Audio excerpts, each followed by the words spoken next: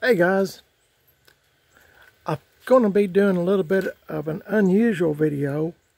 Uh, what I'm talking about is stuff that I have experienced and I, I'm pretty sure you probably have too, is where you're going to look at an old car or an old truck, whatever, new new car, new truck, it doesn't matter.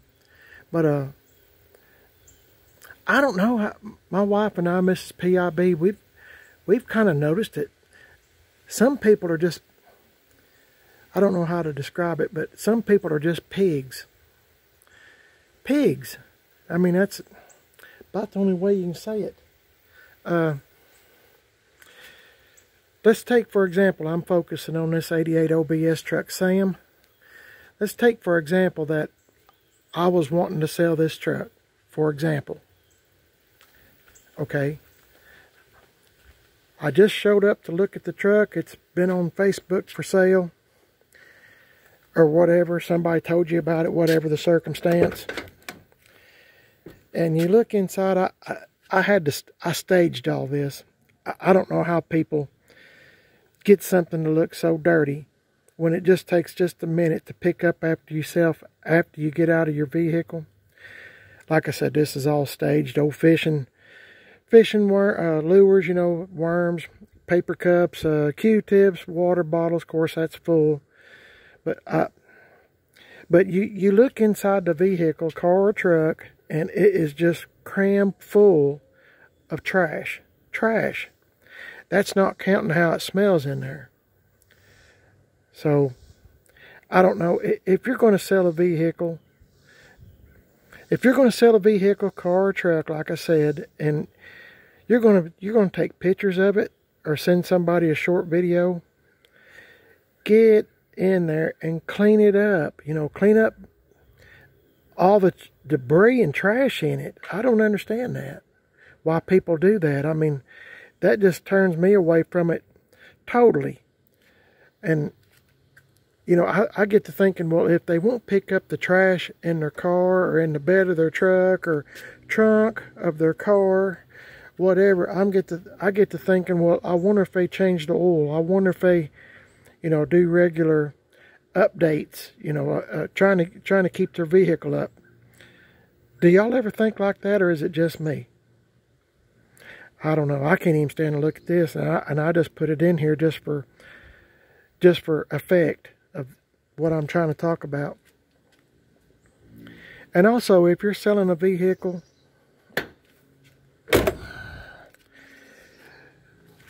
don't show, or if you, how can I say this? Okay, if I was going to look at this truck, and I'd never seen it before, and you see this picture, and you call someone about the truck saying that you're interested in it, for example, this one, like I said, and, uh, you know, you're looking at this side, you know, you see the insides, and, you know, they might have raised the hood, and you can see the engine, but let's say you come to the other side of the of the truck. You walk around and the whole quarter panel is caved in or you know it's been wrecked or something like that you know. Tell the person that's coming to look at it hey this side's been wrecked.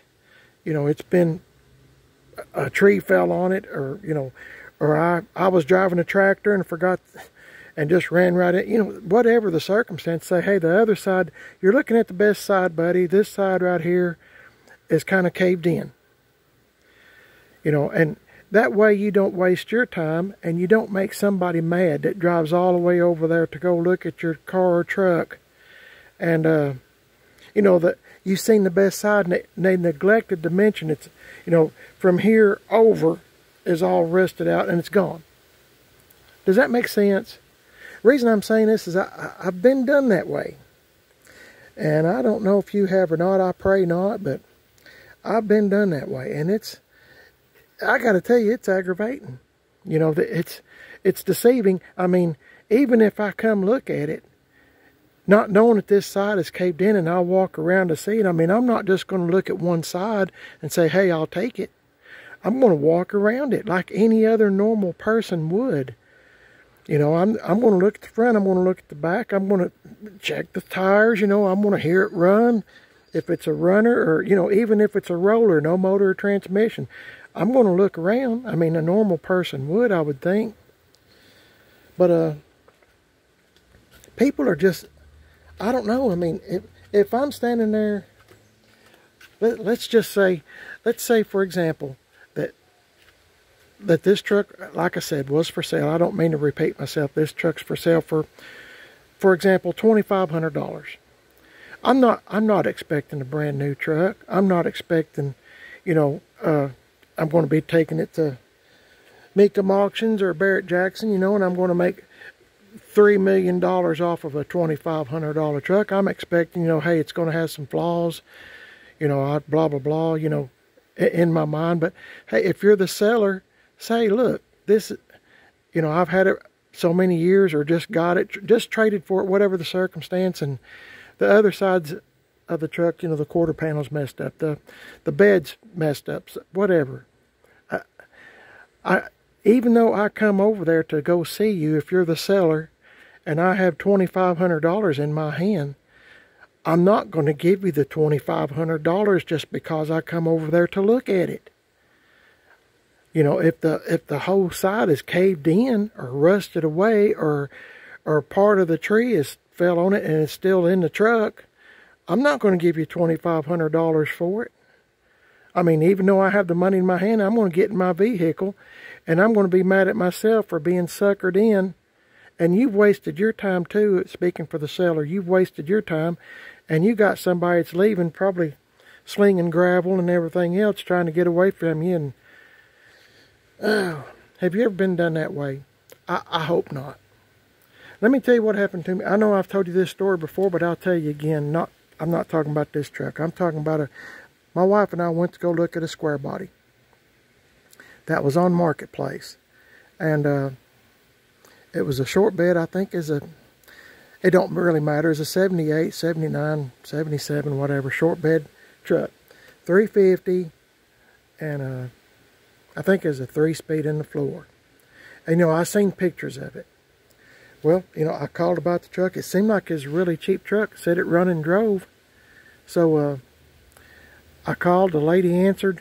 And uh, I was telling her I was interested in her truck. And she said, she seemed really nice on the phone. And uh, she said, uh, okay, but she said, I have someone else coming to look at it that called before you. I said, okay, I understand. That's fine. I said, I hope you sell it. And uh, I said, I tell you what, I said, if they don't buy the truck, I said, would you mind writing my phone number down and calling me back? And I'll, my wife and I will come look at it. She said, okay. So that morning, that was that evening when I talked to her. That morning she called and about 10 o'clock or so, and she said, uh, the guy came and looked at the truck and he didn't buy it. He didn't want it. She said, You're next on the list. She said, I've got quite a few people on the list. You're the next person on the list. She said, Would you like to come look at it? And I said, Yes, I would. So my wife and I, Miss PIB, we got all hurried up and got ready to go and got her uh, directions to her house where the truck was at. And uh, we got lost a time or two. And I, my wife kept calling and saying, I'm sorry, we're, we're, we're on our way. We just took a wrong road or something, but, but we're going to be there you know, just kind of reassure her that, yes, we're coming to look at that truck. Okay, so we found the place, went over there, and uh, going to look at the truck, and I was, I was talking to the, her husband, I'm assuming, was talking to me about the truck, and I was asking him questions about it, and blah, blah, blah, you know how you do, you know, tire kicker kind of, you know, looking at everything. And I was crawling up and under the truck looking at things like I know what I'm looking at. But anyway, I was looking, trying to evaluate what all's been done to it. You know, it was a column shift that had been put in the floor, blah, blah, blah. And, uh, you know, he, well, while I was under the truck, this, another vehicle pulled up. And, uh, and I guess the guy in the truck that pulled up while I was under the truck or do whatever I was doing, I was up under in there somewhere, around the engine, something. Anyway, he said, are you the owner of the truck? And I said, no, sir. I said, uh, the man uh, stepped in the house. He'll be right back out. And I said, I'm just looking at the truck. And So the owner came out and started talking to him, and next thing I knew, you know, uh, that that guy that just drove up, they got into the truck and left, you know, and I still looking at it. And uh and the owner, the guy that owned the truck, he he looked at me and said, We'll be right back in a minute. And I said, Buddy, I said, I don't care when you come back. I said, I won't be here. I said, I was next on the list and he put this guy here in front of me just that just drove in. I said, I was talking to you about the truck. I said, I would have bought the truck. But I said, uh, you know, it's you can just keep your truck and I'm leaving. So, I, of course, I know it didn't break his heart anyway, but my point is, he wasted my time, he wasted my wife's time, and so much for a list. You know what I mean? So, uh, anyway, my point is, if you're going to sell a vehicle, be truthful about it. If you're the next one on the list, then you're the next one on the list. Don't be pulling my chain or, you know, saying, you know, hey, come over in, in an hour, you know, you're the next one on the list, blah, blah, blah. It don't make no sense. I, the best thing to say is the, the first one that comes with the money gets it. And I would understand that. I'd be good with it. But if you've got a list, stick to the list. I mean, I would have bought the truck. I would have drove it home. I, I, my wife and I actually got in our vehicle. We drove over there and we seen them going down the road and they turned around and come back. And I mean, I hope he sold his truck. I do. But if he didn't, oh well. I mean, I was there. I had the money. So anyway, I'm sorry. That's my rant. That's my rant for today. If you're going to sell a vehicle, clean it out.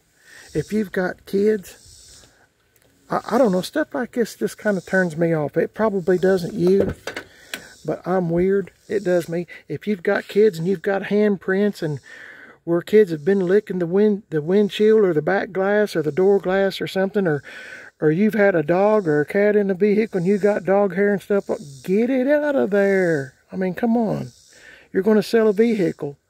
Would you put on dirty clothes? It's got dog hair and cat hair all over it. And anyway, I'm sorry. I don't mean, I'm not mad. I'm just, I'm just saying, if you're going to sell a vehicle, please have enough gumption about you to get in there, pick up your mess, maybe vacuum it out. Every time we go somewhere, I vacuum out the vehicle because I'm a nut. But, I mean, I don't never let our vehicles, they might be dirty on the outside, but on the inside, they're pretty clean. And, uh, and I mean, I'm not even trying to sell mine. So, it just, it is what it is. But people are, like I said, the first of the video, some people are just pigs, and I don't mean that in a mean way. I'm, but truly, some people are. I just don't get it. I, I truly don't get it. Whew. Anyway, thanks for watching the video. I'm sorry if I got off, or I'm sorry if I hurt your feelings, but, you know, hey, be truthful. If it's been wrecked or something, or the other whole side has, has been hit by a train going down the track at 80 miles an hour, Say, hey, it's been hit by a train. Pick up your mess.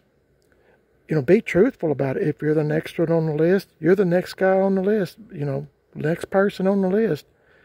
Anyway, appreciate y'all watching. Sorry. I get off on stuff sometimes, but y'all have a blessed day. Thanks for watching. The Lord is in charge, and there was a reason why I, I, the Lord didn't want me to have that truck. And I'm, He knows more than I do, knows knows more than I will ever know. He hung the stars, the sun, the moon and made everything that we can see. So uh, anyway, I just had to do that. This, y'all have a blessed day. I'm going to hush. Y'all have a blessed day. God bless y'all. Expecting some rain today, and uh, I'm kind of hoping it holds off. God bless y'all. Catch you in the next one. See you later.